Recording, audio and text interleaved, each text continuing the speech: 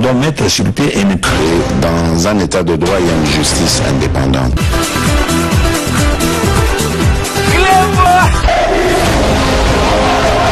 ce n'est pas pour rien qu'on fait des conseils abi bon likambo ya kopo wana osali yango yo oza mwana mai na ngai c'est vrai totangaka na yo du vent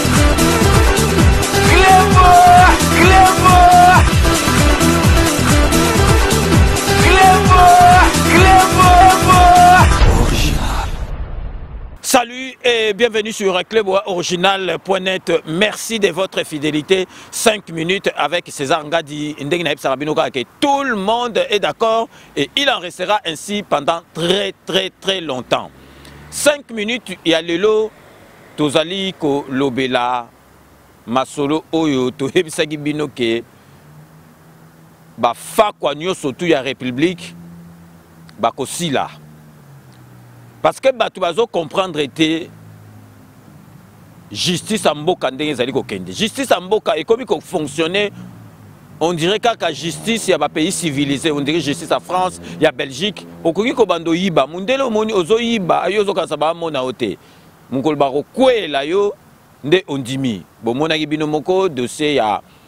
kamere ndenge ezalaki bato bazomarche kamere bazokanga ye te bazosala boye te me suka na suka ntango bakangaki kamere ntango bakweyelaki ye bato bakomi kolela na monoko ya mboka na bato oyo babandaki koreklame ke aza fakwa bakomi koyokela esusu mawa ndenge kaka bato balobaka ndenge biso tolobaka ndenge nalobaka ke kanambe akozwa masolo na mbunchu mpe na dikosi bango bazokanisa eza je mais masolo yango yango tozomona mabunda koya tambwe mwamba koya ilukamba koya do etikali sikoyo ye moko mais makambo bakendaka na malembe boyebi euh, administration oyo eza la plus lente na mokili mobimba ezali administration judiciaire administration judiciaire eza administration moko ezalaka na lenteur moko ya kosakana te mais soki bakwei na yo mpe yango wana ke soki bakwei na yo okoti boloko mpo obima ezalaka makambo ya kosakana te lelo tokolobela bino na 5 minutes ya lelo donc comme vous pouvez vous en douter comme il fallait s'y attendre tokoyaki jamais kolekisa masolo oyo ya ministre sortant ya enseignement primaire et secondaire technique oyo babengi Willy Bakonga. Oyebi esekisi biso epesi biso mawa na motema mpo bomona mboka na biso ndenge ebandaki kofonctionne boyebi willi bakonga wana azalaki adjoint ya shadari na kati ya hum, pprd na bango ya fcc donc bozomona mutu aye kosala na ndenge ya coalition me kifakwa esili te kifakwa esili te amemi kifakwa oyo bazalaki nango na fcc amemi yango kuna na coalition me nzambe boyebi ndenge ezali boyebi ke bomonaki procès ya bainspecteur ya enseignement primaire et secondaire ndenge moko akoyaki kambaki ntango euh, bazosala lecture ya condamnation na ye amesana kaka oyebi congolais bayebi justice mpenza bakomi kocomprendre yango sikoyo na lere ya président na biso oyo aye faci beton parce que kala yo bakanga yo soki ozoyiba bakokanga yo na nani parce que ye moko kanambe grand fakwa donc ye kaka baminere kosimba te baminere kosimba te yiba na yo ndenge olingi be baminere kosimba te yango nomoni bato donc bazalaki na bango na liberté ya koyiba donc ye moko yango nayebisaki bino l'exemple vient d'en haut mokonzi ya likolo soki azopesa exemple bato ya se bakoki kosala bamanœuvre te bamavwanga te ndenge bakongo balobaka donc yango wana bozomona avec faci beto bato tu bakomi kobanga boloko bato tu bakomi kobanga boloko avant tobanda na sujet na biso ya lelo ya fakwa oyo Willy Bakonga parce que bomonaki bakangaki ba inspecteur wana bakangi bango bongo soki inspecteur azosala mafia na se bongo ndenge nini ye ministre akoki koyeba te ezalaki système na bango nyonso tu babanda kosala mais bakanisaki ekoleka boye mais omoni ndenge basuki donc willy bakonga wana donc botala kaka ke enseignement de base gratuit donc euh, gratuité ya enseignement de base école gratuite donc vraiment yiba mbongo na makambo mosusu nalobi te qu'il faut koyiba mais yiba mbongo na makambo mosusu donc oyo neti ya wili bakonga ezali donc befrakata mibale donc enseignement oyo evandisi masolo ya président na biso faci beton na mandat na ye ezali justice état de droit na enseignement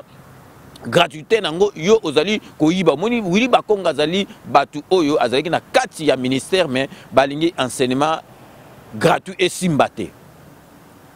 mais avant to développer masolo wana nazali kolakisa bino parce que boyeba déjà masolo ekomi sikoyo na gouvernement oyo ya sama président de la république yango bomonaki ezwaki temps alingaki jamais asala erreur bazozwa mutu na esika oyo esengeli azala nazali koyebisa bino bokanga kombo oyo ministère à mine donc eza ministère moko régalien ministère à mine boyebi pour la première fois na ministère à mine bati mwasi boyebi ke ministère à mine ezalaki ministère oyo katumbi abandaki kolinga azwa yango parce que botala kaka minere oyo ya mboka na biso ministère ya mini moto egeraka yango donc bakoki kotya n'importe qui te donc tozali vraiment kofélicite lelo pour la première fois boyebi bafako ebele bazalaka bamibali basi mpenza mpo mona mwasi akota na makambo ya koyiba ezalaka mpenza rare donc tozali kolakisa bino ministre to esengi na bino bato tu balandaka 5 minutes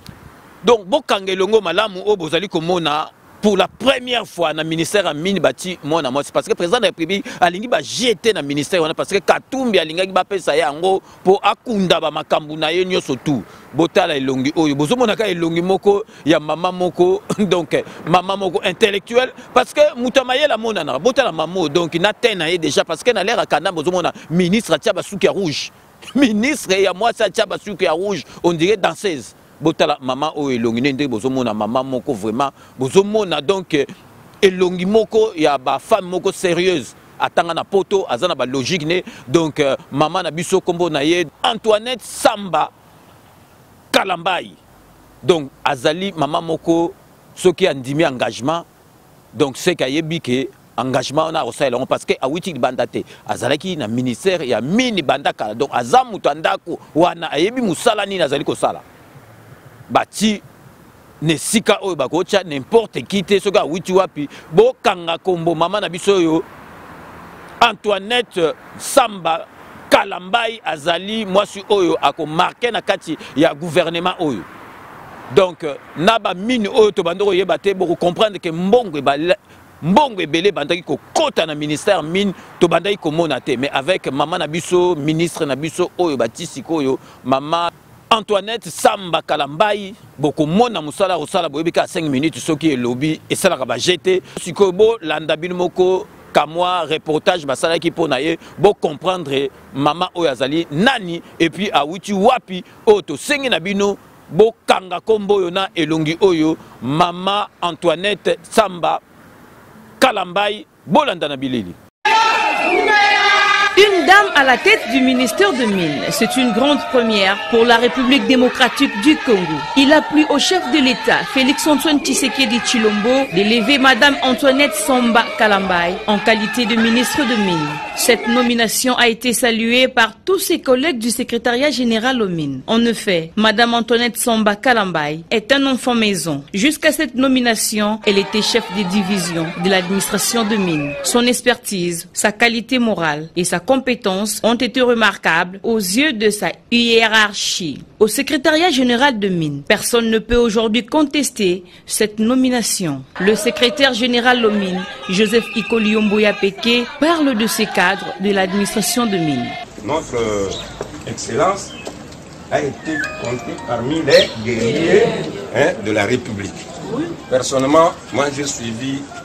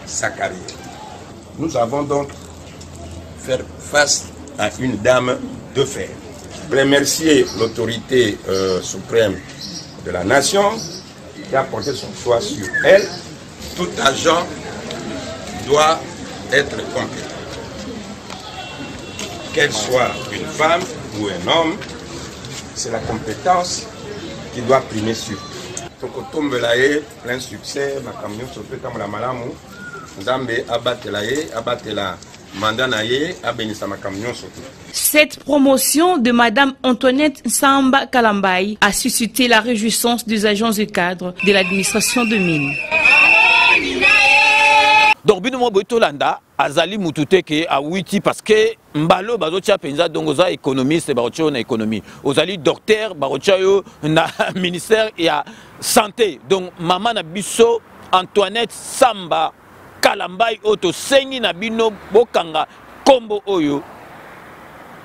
na elongi oyo parce que bokomona baministre oyo ya solosolo oyo bakotombola mboka na biso boyebi ke ministère ya mine boyebi baminere nyonso tozali nango na mboka na biso bakoki kotya n'importe qui te donc tozali kofélicite epuis tosengi na bino nyonso tout bolanda makambo mama oyo akosala ekozala pour la première fois soki tozali koloba boye toyebi eloko nini tozali koloba donc euh, baministre oyo président de la république aza na confiance na bango mama na biso antoinette samba kalambai azali na kati donc wana elingaki donc euh, vraiment nalakisa ke na ebandeli ke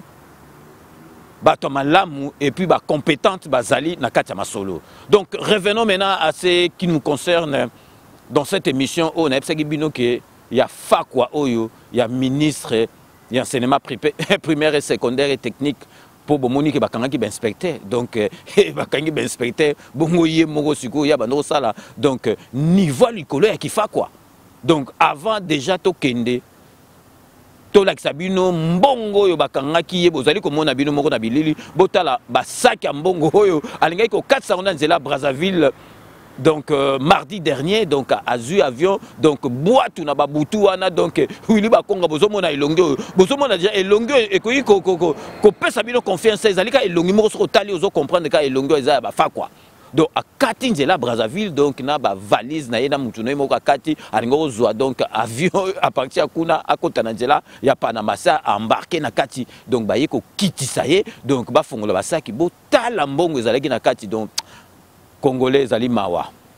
donc botala bo kaka mutu bakangi ye nanu te nanu baconvoke ye te donc ye moko tula mwisi ya zaza donc ye kutu ah, akokende na prison ya makala te ye mpenza ifo batinda ye mpenza kuna na baprovince na baprison oyo oh, soki donc ekafela soki nini avanda kuna parce que azali grand fakwa ya bahaut niveau parce que bino boyebaka ke ba ministre oyo sortant ezali ce n'est que le début de commencement bango nyoso bakokangama donc euh, bafakwa nyoso tu bakokangama ndenge baza wana donc bazali kolenga talaka nde wili bakonga ye moko tula mwisi ya zaza heureusement ke nzambe azali na congo donc bamiyibi tu bakokanga yango mpe tosengi président de la république donc bamiyibi tu il faut bakanga bango moko na moko batika te vraiment parce que bazali ebeli wili bakonga azaka ye moko te bamisusu mpe bazali mais bozala tranquille tozali na confiance na justice na biso oyo félix antoine tshisekedi faci beton amemi bakokanga moko na moko mais sikoyo tozali kolakisa bino video botala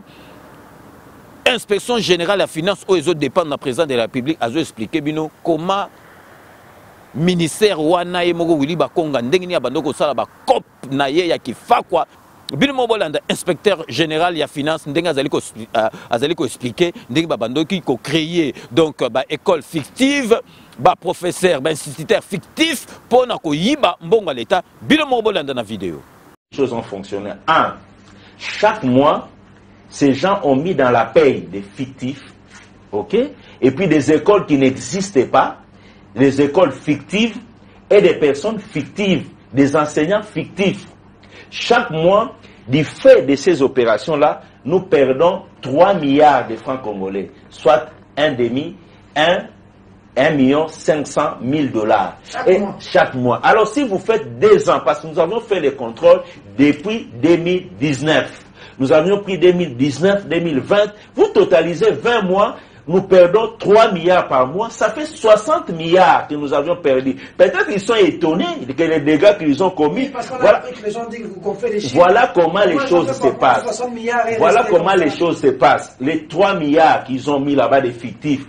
des écoles qui n'existaient pas, des enseignants qui n'existaient pas, ils les ont mis dans les fichiers, l'argent sort, et ils se partagent. Comme ils sont tout un circuit, ils sont là, ils sont à peu près, laissez que je vous donne des précisions, ils sont à peu près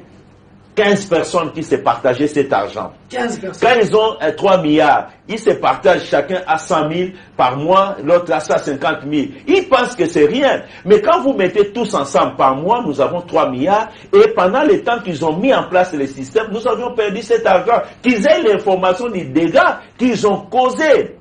aux Congolais. Nous, c'est quand même l'inspection générale des finances du pays. Nous ne pouvons pas avancer des choses. Moi, je dis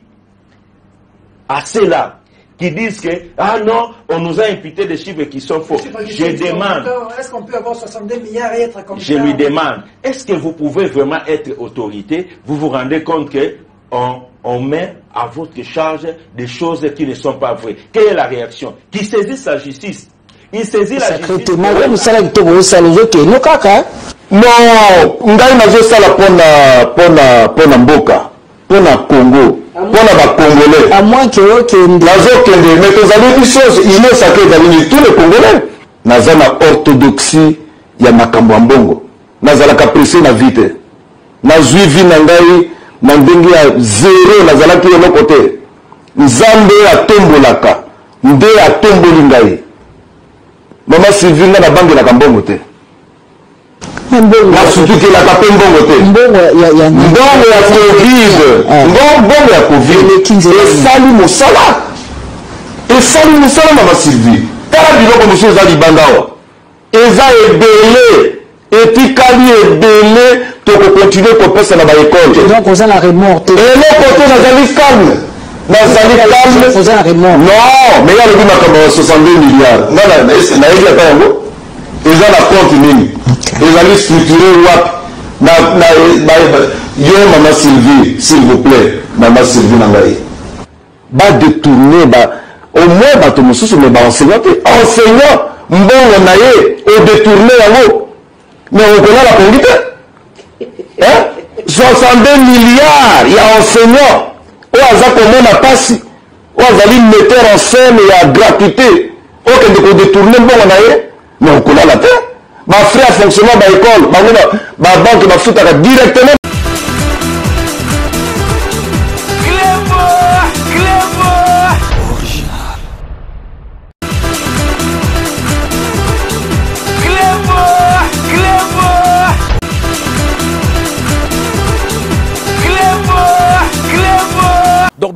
bolandi explication ya inspection générale ya finance donc inspection wana vraiment tozali kosenga vraiment il faut basécurise mokonzi ya inspection générale oyo parce que mosala azali kosala ndenge azali kobimisa bafakwa parce que bazalaki banda kala mais mosala oyo bakoki kosala yango te na lere ya kanambe mais bozomona mpenza bakomi na liberté na elengi ya kosala mosala donc na lere ya kanambe bawili bakongo oyo bakokangaka bango te bakokangaka bango te na bato nyonso bakokangaka bango te mais sikoyo ozomona mpenza ke ministre gouverneur azali kobanga boloko ayebi ke soki asali faux pas beko bakangi akei na boloko donc vraiment ezali bino moko bolandi ndenge système yango ezalaki ya mafia déjà basalaki yango banda kala do bazocree nazolakisa bino botala na mboka na ye acrea baekole moko donc soki otali ezali na yango ekole te baekole fictive donc ezalaka nango te bacrea crea ebele ebele boyebe mpe na kati ya masolo wana mpe nayebisaki bino dernièrement na basango na basango bakotaki na kati ya masolo ya makambo bacrea mpe baekole fictive basango bazwa basubvention na baekole ya lokuta botala wili bakonga na mboka na ye kuna na province na ye baekole asala ya lokuta nyonso tu mpo na kozwaka kaka mbongo ya leta bino moko bolanda na bilili Mbote. Mbote. O kombe ekole nini? Bakonga. Wili Bakonga. Wili Bakonga oya ministre? Eh. Oya ekole ya leta? Eh. Eh ya leta. Kombe kombe ekole nini? Bakonga. Kombe yango mpe ekole Wili Bakonga. Eh. Ah to na mboka nini? Bokake. Bokake. Eh. Ah. Siko o classe nini na classe nini?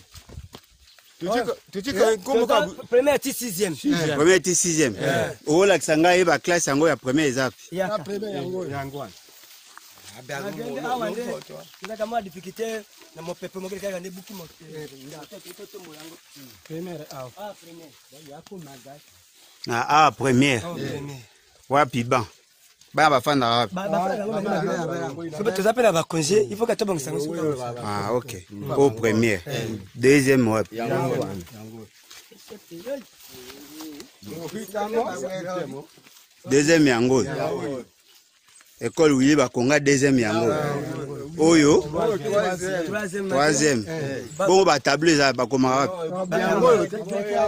wapi tableau lakisa ngai tableau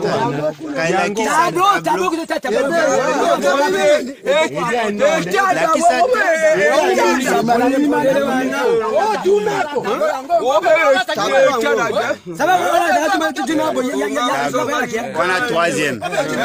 oyo oh, sikoyo wapi a ah, quatrième tableau yango wana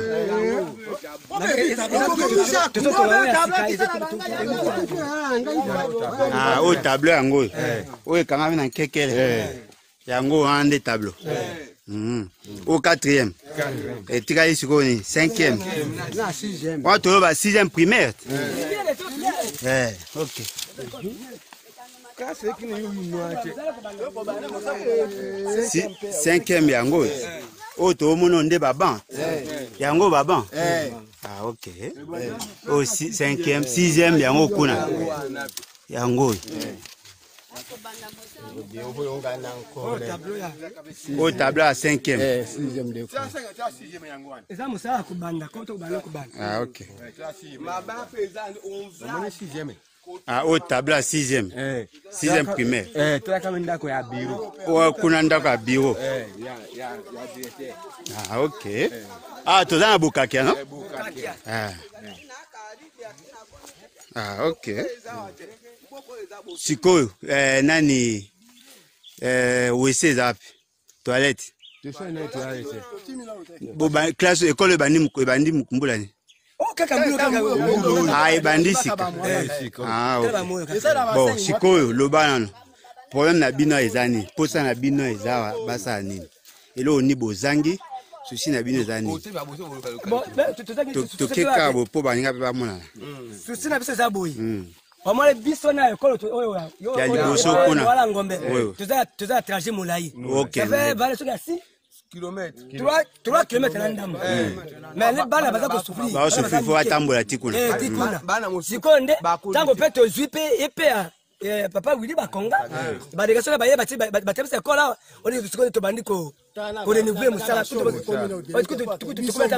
yango aza toza bosalaka ke ekole etelemi ah, oyo baye kotya ezali bato ya papa willi bakonga ah. delegation na ye eh. nde batelemisi ekole eh, epuis bapesi bino moyen ya kotonga be eh. bino moko botongi ah, bino moko population nde botongi boluki bandele banzete na bino to bango batikeli bino nini awa tableau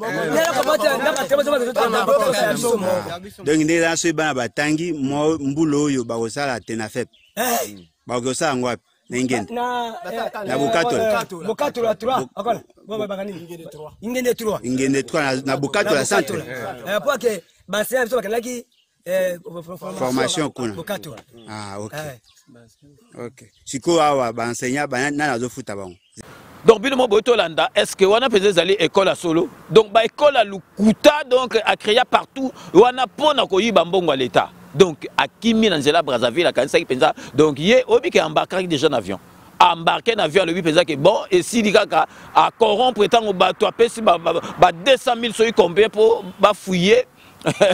basaki ne wana azalaki nango te mais badebarke ye na avion bake bafongoli Bo botala na zongiseli bino susu ba sac botala penza mbongo en liquide. Mbongo en liquide boye alingaki kobima nango penza ezali pasi na mawa na motema donc vraiment ezali pasi yango na lelo tokoki kotiki te tosengi penza ye akokende makala te ye akokende makala te fo babwaka ye penza na ekafela epuis boyoka likambo ezali koleka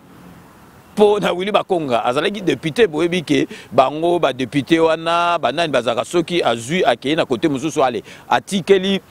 uh, babengaka bango bana basuppleya na bango batya bandeko na bango sikoyo ye neti bakangi ye alingi sikoyo azwa immunité parlementaire akomi kosenga ndeko na ye oyo atikelaki ye place apesa ye azongisela ye kidepute na ye mpo azwa immunité parlementaire estce ezali ndeko ne wana boyi epuis eloko ngai na comprenaka te immunité parlementaire yango kokasa teke soki oza fakwa bakangi yo na makambo ya boyi yo ozali so na immunité de parlementaire bakokanga yo nanu bakangi yo apres bake kolongolelo immunité parlementaire sima bato bakanisaka ke oyibi na niveau oyo bakokanga yo te parce que oza na immunité parlementaire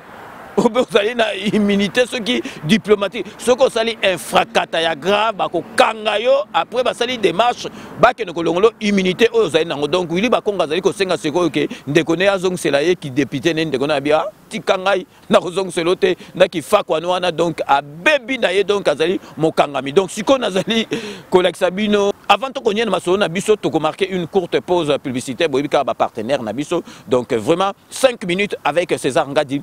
on revient tout de suite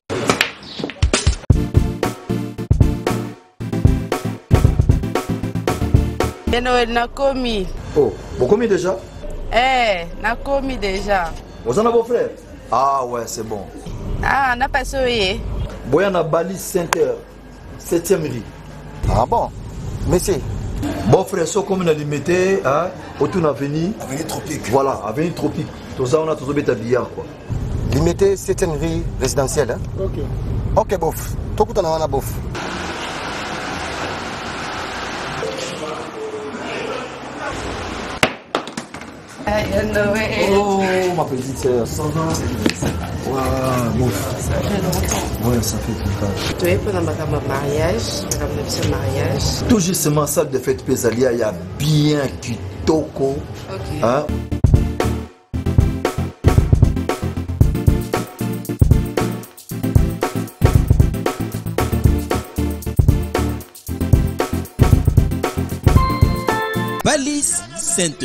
Un cadre magnifique pour vos diverses manifestations et vos rendez-vous d'affaires. Un restaurant avec menu diversifié à votre convenance. Cuisine africaine, cuisine européenne, cuisine américaine et continentale un salle de banquet de luxe avec plus de 400 places assises pour un mariage de rêve. Collation, anniversaire, conférence, réunion de service et diverses manifestations. Balis Center. Nous disposons de studios médium, standard et des luxe à votre portée. Deux appartements de 1 et 2 chambres avec salon, cuisine et salle de bain. Et des 3 chambres, salle à manger plus deux salles de bain. Palace Center avec terrasse intérieure et extérieure, VIP, rien que pour vous. Nous sommes sur 7 e rue, place commerciale, sur l'avenue du Tropiques, numéro 83, référence clinique déco dans la commune des Pour plus de contacts et réservations, plus 243 81 799 82 47 82 34 121 62. Vous pouvez aussi nous visiter sur Sainteur.com Flat Hotel Balise Center l'excellence dans la simplicité.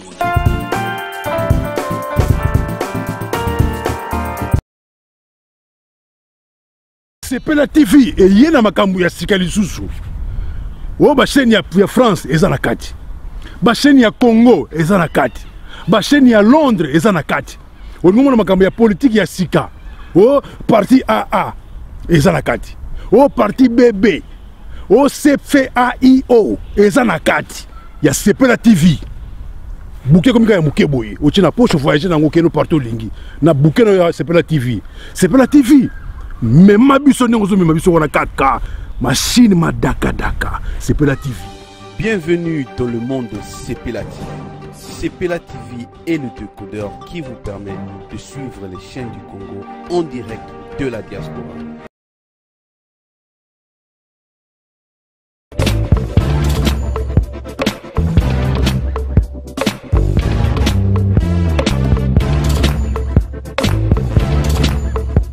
partenaire yango tozosala adi londole feli ah mosengo feli tozosala contenaire bavoiture tozotina na kisasa bacarton ezokende kinshasa Et en plus, la bonne chose, voiture na yo, correcteur na l'excès te. Te prends pas la tête. Yela bisongo, chargez biloko na yo. Toko livrer à domicile, sans en avoir au teki. L'inauguration est allée le samedi. Ah, tous en Autriche, na van. Tous en avion Ngambe. Donc, vieux Ngambe azali soba, mokonzi ya mboka ya van. Oyo aza kokozwa contrôle nyonso na diaspora congolais na kati ya van awa. Tofacilite tâche, bino mwa botalaka biloko. botala nde biloko ezali awa bakamio eza kovanda bon bana mai nde tolobaki kaka tokozala na kati ya grenoble tokofongola antenne na grenoble système toza nango kaka feli mosengo ya juda pauvre toza na kati ya grenoble adresse yango tozali toza na représentant ya grenoble azali awa mara bokando ozwi carton mibale carton moko fele donc système toi nango awa juda pauvre fati beton bon diaspora bana genève bana ya kozanga toza awa na nemas ntango nde tolobaki toza na tour mobimba ya union européen ya diaspora toza na liboso ya juge exotique oyo nyonso wana besoin ya produit rdc okokuta awa toza na fret aérienne toza na fret maritime oza na besoin ya carton oza na besoin ya motuka eke na mboka eloko nyonso oza nango na palais eke na mboka reference ya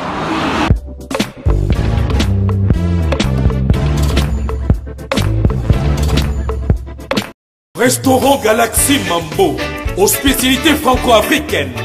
Menu spécial Mambo situé au numéro 137, rue André Carman, 93 300 Aubervilliers. Contact et réservation au 07 53 28 89 07.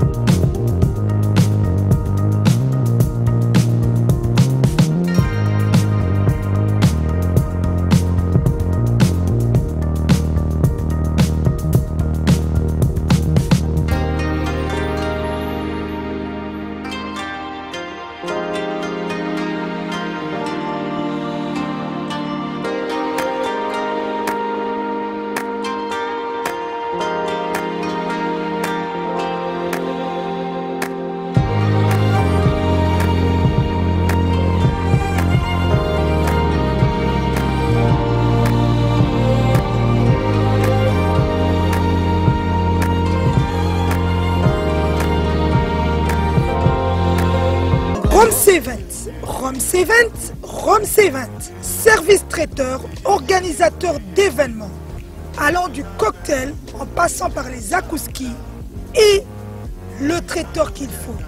Vous avez toutes les spécialités, africaines, européennes, asiatiques, du monde entier. Quel goût,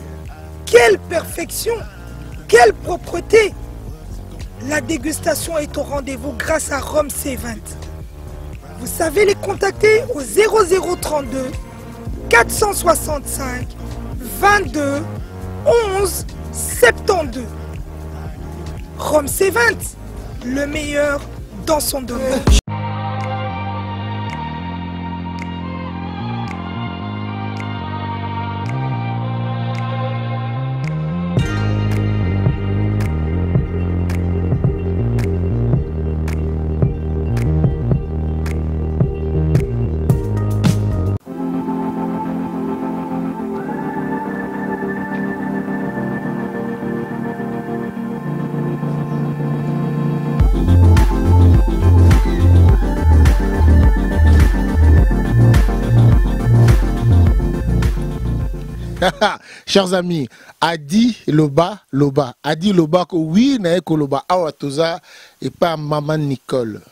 styliste modeliste nicole de paris nayebi na yo kotonga ezali awa toza na eloko moko ayo ezosalama mabaya ya mibali ezali nano toyoka likambo oyo te mais mama nicole ye moko azali styliste modeliste ata mosusu nabosani eloko mosusu mama nicole bonjour bonjour papa donc, donc liputa na libaya na saki nango liputa na libaya na saki nango yango nicole de paris na 70 anatole france Nicole de Paris, styliste modeliste. Na 2021 oyo nabimisi look ya nga moko libaya ba garçon. Donc ba star ba, ba, ba pasteur ba nduliste ya Yesu ba nduliste nyonso bazoya awa libaya ba garçon ezosalema nango kote mosusu te kaka awa na 70 Anatole France Nicole de Paris mikolo na osimba ba papa mikolo na libaya ba garçon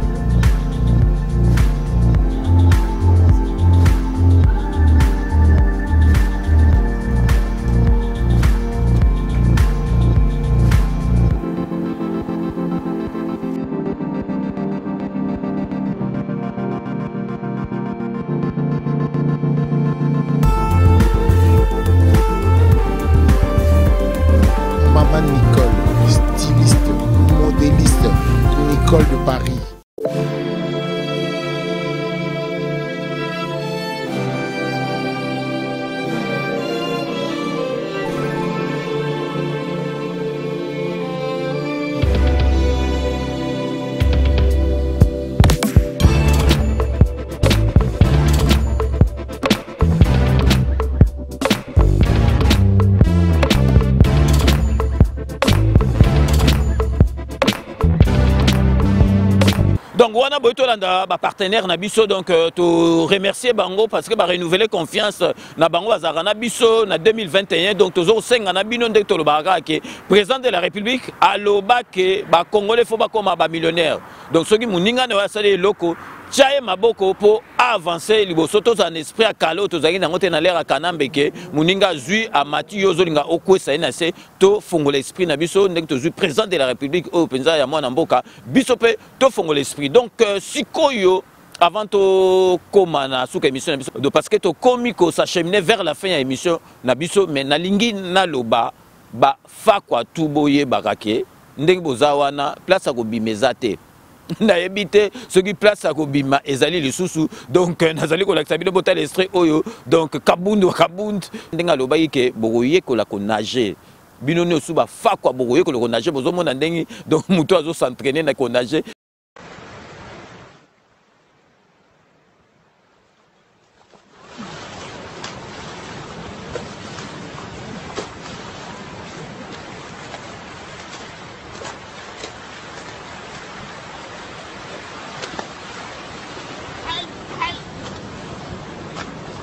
donc ezosekisa mabe donc omoni ke bakonga azwaki soki pirogue na butu alabimi akanisaki nozwa avion kuna donc ye déjà aza wana donc bazo estrade ye ntango azoya mbala moko na boloko parce que aza so na makambo te donc moye kutu batuni kutu baexplication te ye moko akendaki komibwaka na monoko ya nguma donc yebaka ke moto azokima donc ye moko afungoli boloko nini na malembe donc vraiment tozali kosepela bamiyibi nyonso tu toza na confiance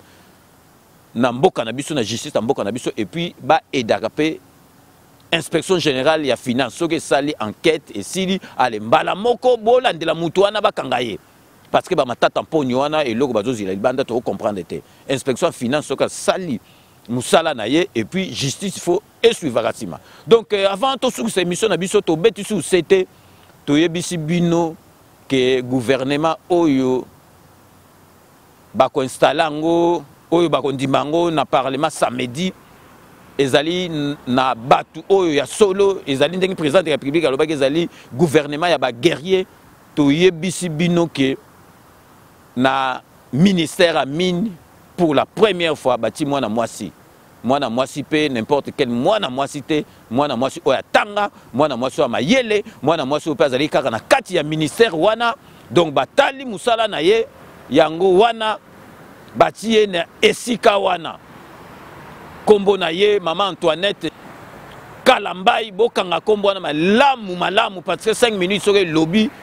ezali ya solo bokomona ke ye akoki korevese bato oyo tu bazalaki avant mbongo ye azokolisa na pays na biso bacomprendre ke bato bazalaki avant ye bazalaki bafa quoi donc mama na biso toinette samba kalambai donc euh, vraiment merci et puis 5 minutes ezali na nsima no parce que toyebi ke yo okosala mosala ya malamu donc tokomi na suka ya émission na biso ndenge nayebisaka bino kaka ke je vous laisse le soin d'en tirer vos conclusions et de me faire parvenir vos commentaires comme d'ailleurs vous en avez l'habitude de faire donc soki tokomi na suka tokobosana te kopesa mbote vraiment na base ndenge ezalaka kaka base tokobosanaka te bato balandaka biso bato baedaka biso tokobosana jamais kopesaka bango mbote tokobanda lelo na diedone kumbi diedo kumbi wana aza masta na ngai ya coupe oyo totanga mpenza bachike banda diego kao donc masta na ngai donc nasepelaka trop donc ndenge tozalaki kokola wana déjà Dieudonne Kumbi azalaki na mwasi na ye ntango toza deja na baseo donc euh, mami donc euh, bazalaka ti lelo ezali esengo mingi donc euh, mwasi oyo oyebi ye vraiment na bojeunesse donc ntango tozalaki baadolescent ntango tozalaki na ba 17 ans ba 16 ans ti lelo bozala neti na kati ya poto donc vraiment dieu done kumbi na kote wana mpenza bafélicitation ezali vraiment exemple à suivre totiki france sikoyo tobimi tokei na kati ya italie mpo na kopesa dizo lutete mfumu ya italie petit frère propre petit frère montiki donc merci ya trop dizo lutete ndenge olandaka 5 minutes wana ezali vraiment par obligation donc merci ya trop na fidélité no na 5 minutes avec césar ngadi totikeli toujours na kati ya italie mpo na kopesa donc bikende bizonga frank kausoko donc président ya communauté congolaise na kati ya italie bambote ebele esika yo ozali sikoyo tokei na kati ya swede mpo na kopesa mama na biso therese kamani therese kamani oyo vraiment atikaka biso te azalaka na biso na baémission nyonso to donc mama na ngai therese kamani na kati ya swede merci na fidélité nayo na nyonso tu osalaka mpo na 5 minutes avec césar ngadi donc tokei sikoyo na kati ya londres mpo na kopesa mbote na jeannot matundu oyo azali molandi monene ya 5 minutes avec césar ngadi jeannot matundu merci na nyonso tu osalaka mpo na 5 minutes avec césar ngadi tokei na kati ya états-unis d'amérique mpo na kopesa mama na biso mamizoa mamizoa merci na fidélité no na 5 minutes avec césar ngadi tokei na kati ya espagne mpo na kopesa donc vrai chéri na kati ya espagne beloti mavungu vrai chéri na kati ya espagne Beloti Mavungu, merci na nyoso tout osalaka rapport na 5 minutes avec César Ngadi. Tokei na kati ya Londres, tozongi lisu na kati ya Londres pona kopesa mama na biso Maria. Maria azali mama oyo vraiment soki emission bandi donc akotaka mbala moko. Donc euh, mama Maria, merci na nyoso tout osalaka rapport na 5 minutes avec César Ngadi. Totikali toujours na kati ya Londres mpo na kopesa l'honorable jean mutala ye vraiment toyebi kutu te eloko nini tokoloba émission wana ezali ya ye donc soki alali atali yango te akokoka te merci l'honorable jean mutala na nyonso tu osalaka mpo na 5 minutes avec ses anga totikali toujours na kati ya londres mpo na kopesa maître wera mukuna maître wera mukuna bambote ebele maître raja mule bambote ebele sans oublier José Kana qui kakamene donc tokei sikoyo na Amérique euh, plus précisément na Canada mpo na kopesa mama Mira mama Mira merci à trop na nyonso tu osalaka mpo na 5 minutes avec César Ngaditoko tikala kaka na kati ya Canada cette fois-ci na kati ya Montréal euh, mpo na kopesa mbote na la plus belle voix ya 5 minutes avec euh, César Ngadi mama na biso Fina Mokonzi Fina Mokonzi merci na nyonso tu osalaka mpo na 5 minutes avec César Ngadi tokosukisa na Saint-Denis mpo na kopesa donc le pdg blaise zebele donc na mwasi na ye malora bambote ebele vraiment merci na nyonso tu osalaka mpo na 5 minutes avec césar ngadi tokotikala toujours na saint denis mpo na kosukisa na kopesa mbote bijouterie marco chez jeannot marco awa na saint denis na 90 boulevard anatole france na saint denis nous sommes à la fin de ce 5 minutes avec César Ngadi. Merci de l'avoir suivi. Nous allons nous retrouver avec grand plaisir dans 24 heures pour un nouveau numéro derrière la caméra et à la réalisation Willy Kunda. Restez donc connectés sur Cléboa Original. Vous n'avez pas tort. D'ici là, portez-vous bien et à très bientôt. N'oubliez pas, tout le monde est d'accord et il en restera ainsi pendant très très longtemps.